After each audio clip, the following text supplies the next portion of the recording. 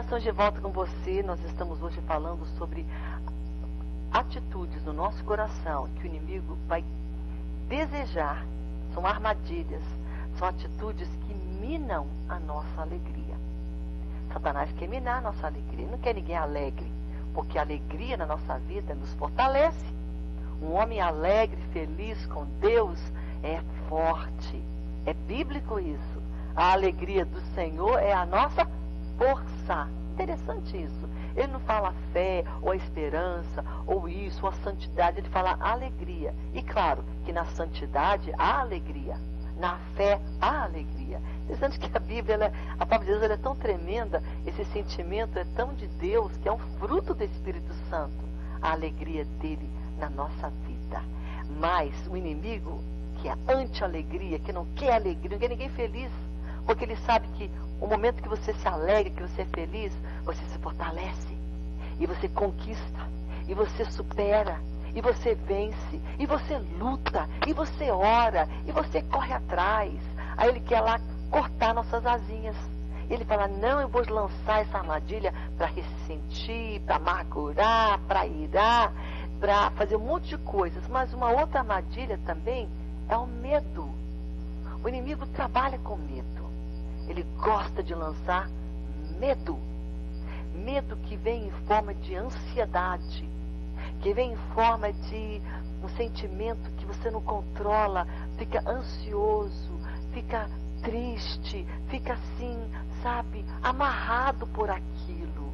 Medo de sair, medo de ser feliz, medo de conquistar, medo de, sabe, ter um relacionamento, de estar na casa do Senhor, de fazer coisas para Deus. Ah, eu não posso, sabe, aceitar aquela proposta que o líder na minha igreja está fazendo. Olha, vamos lá trabalhar, ter essa, esse ministério, porque o medo te amarra.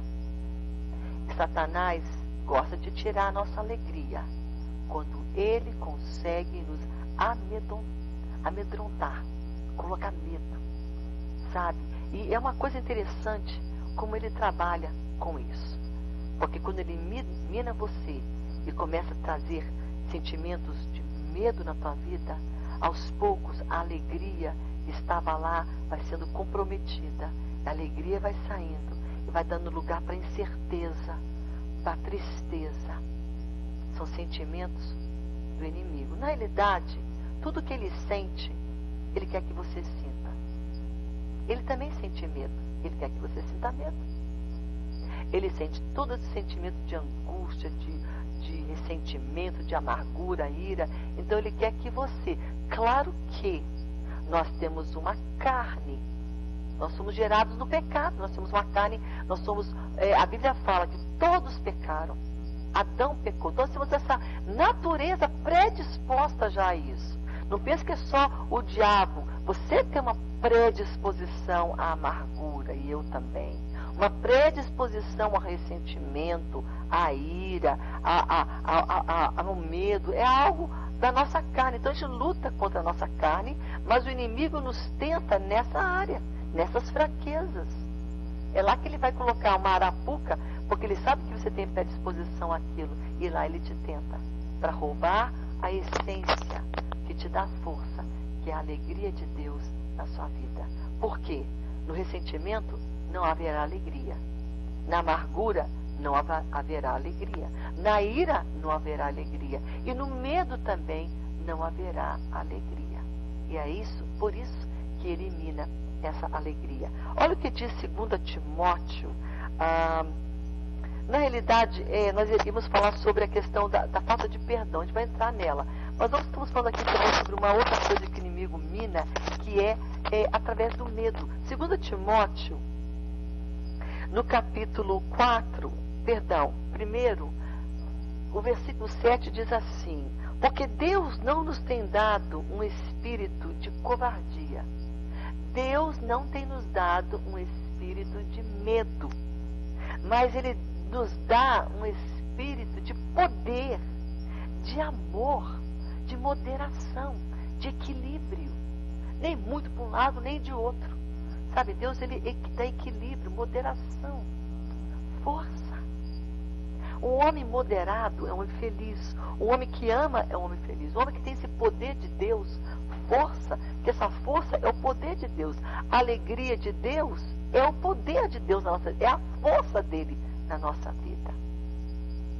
Você está entendendo? Então, abra tua Bíblia, deixa dar uma olhadinha aqui em 2 Timóteo capítulo 1, versículo 7. Que muitas pessoas atribuem o medo a Deus. Ah, esse medo. Deus não dá medo para ninguém. Medo não é um atributo, não é um presente de Deus para você. Medo é um sentimento do maligno. Sabe, a Bíblia fala que o amor perfeito, o amor de Deus, lança fora todo o medo. Se o amor de Deus na nossa vida lança fora o medo, é porque o medo não vem de Deus. Então não pense que, ah, isso aqui é porque Deus me deu isso, eu nasci assim, sou assim porque Deus me fez assim. Não é não. Deus não criou você para estar aí ah, sendo atormentado pelo medo, porque o medo te enfraquece, rouba a tua alegria. Uma pessoa que está ali vivendo no pavor, na angústia, no medo, no pânico, não consegue ser feliz. E é aí que o inimigo quer minar essa alegria, tirando esse equilíbrio, essa paz, essa força da tua vida, fazendo com que você fique vulnerável e qualquer coisa lhe traga insegurança e lhe traga esse sentimento de medo. Nós falamos no, no último bloco, queríamos falar também sobre um outro, outro sentimento, outra, outra atitude também, que é uma atitude pecaminosa, que rouba a nossa alegria, que é a falta do perdão. Efésios capítulo 4, dá uma olhada comigo aí, rapidamente, em Efésios, no capítulo 4. Se não me engano, é o versículo 32, diz assim: Antes, sedes um para com os outros benignos, seja compassivo, perdoando-vos uns aos outros, como também Deus em Cristo vos perdoa. Palavra de Deus. Perdoando-vos uns aos outros, como Deus vos perdoa. A Bíblia diz em Mateus também, se não me engano, é Mateus no capítulo, ah, no capítulo 6, do versículo 14 e 15, se eu não perdoo, Deus não vai me perdoar também. Está condicionado o meu perdão. Eu sou perdoada por Deus à medida que eu perdoo também. Forte isso, né? À medida que eu perdoo, eu sou perdoada também. E aí essa passagem de Efésios 4, versículo 32, o 31, o que vem antes, diz assim para nós: E não vos entristeçais o Espírito de Deus, no qual fostes selados para o dia da redenção. Longe de vós toda amargura, longe de vós toda cólera, longe de vós a ira, e a gritaria e as blasfêmias e bem assim toda malícia, amargura, ressentimento, ira, todas essas malícias, tudo isso que o inimigo vai querer colocar para minar a nossa alegria. Uma outra coisa que mina, um outro fator, uma outra atitude que mina a nossa alegria é o sentimento de ofensa. Ah, eu estou tão ofendido, me ofendeu, sabe, fica lá ofendido, e amuado, num cantinho ofendido. É isso que Satanás quer que você sinta, ofendido. Jesus tinha todos os motivos para sentir ofendido, mas ele triunfou sobre esse sentimento que se você não cuidar, é algo que Satanás deita e rola, porque esse sentimento de ofensa, ele tem um irmão gêmeo chamado autocomiseração.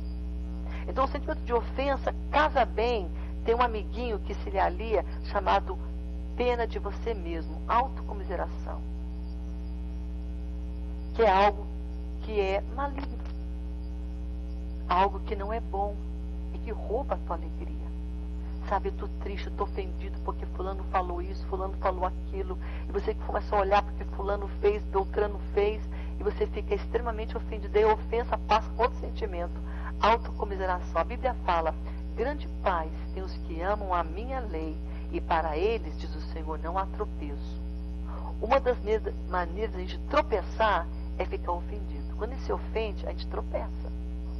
E é isso que Satanás quer, te tropeçar, te fazer ficar amuado, ofendido, ressentido, tristinho, com algo, com peninha de você mesmo. É algo muito fácil se a gente não cuidar, todos nós queremos sentir isso. Mas nós vamos lutar, porque no, nesse sentimento de autocomiseração e de, de ofensa, não haverá alegria. E por último, um outro sentimento que o inimigo mina no nosso coração, elimina nossa alegria quando há desobediência. Quando nós não obedecemos Deus na palavra dele. Satanás elimina. Um homem desobediente nunca vai ser feliz. A desobediência não gera alegria. Ela gera sentimento de culpa, sentimentos de tristeza, ela enfraquece a gente. Sabe? E nessa desobediência a Deus, a palavra, aos nossos líderes, em todo sentimento, em todos os, né, os, o andar da nossa vida, aos nossos pais, ela vai gerar esse sentimento de frustração, porque é pecado. E o inimigo vai procurar minar tua alegria, te levando a desobedecer. Você está entendendo hoje? Os roubadores da alegria, que minam nossa alegria, nós vamos recapitular bem rapidinho. Estão aqui. Nós falamos hoje, o primeiro é a amargura, é o ressentimento, né? Ressentimento, amargura, ira. Um espírito que não perdoa, falta de perdão, medo, um sentimento de ofensa, de estar ofendido e a desobediência. Hoje nós podemos fazer algo para que isso seja enfraquecido na nossa vida chama-se arrependimento. Chegar para Deus, ser sincero com Deus, admitir para Deus que está no nosso coração e falar: Deus, me limpa, me purifica, me perdoa. E Deus vem e Deus perdoa e Deus te fortalece. Sabe por quê? Deus quer você alegre, porque a alegria dele na tua vida te fortalece. É a tua força. Nós vamos vencer fortes. Nunca vi um batalhão, um exército vencer todo fraco, caído. Não. Um exército, a característica do soldado é força, é disposição para lutar. Quando a alegria vem na tua vida, você tem força para orar, força para falar de Deus, força para lutar, força para prosseguir na caminhada. E Deus quer isso para a sua vida, amém? Leia hoje essa passagem Leia hoje esses pensamentos. Nós trabalhamos hoje em várias passagens, não é? Efésios 4, 32, 2 Timóteo 1, 7, Mateus 15, versículo 14, Mateus 6, versículo 14 e 15. É, nosso texto base está aqui em Neemias capítulo uh, ah, 8, versículo 10. Falamos também aqui sobre a, a questão também aqui em Números 12, no versículo 7 a 9 sobre a questão do ressentimento na família de Moisés. E quando falamos sobre amargura, nós falamos sobre aquele texto tão tremendo que está em Hebreus, capítulo 12, versículo 15. Então tem bastante respaldo. Tudo aqui está na palavra de Deus. Amém? E não se esqueça, a alegria é um fruto do Espírito Santo. Quanto mais você deixar o Espírito Santo ter primazia na tua vida, atuar na tua vida, dirigir tua vida, ter espaço na tua vida, maior será a tua alegria. Porque é um fruto dele, dele dentro de você. Amém? E a alegria dele te fortalece. E na força você conquista. Amém? Palavra de Deus hoje para o teu coração e para o meu também. Deus é fiel, né? Ele fala com a gente. Nós vamos agora para um breve intervalo vamos voltar com você, tá bom? Rapidinho, nós vamos orar, interceder pela tua causa. Daqui a pouco mais eu volto com você.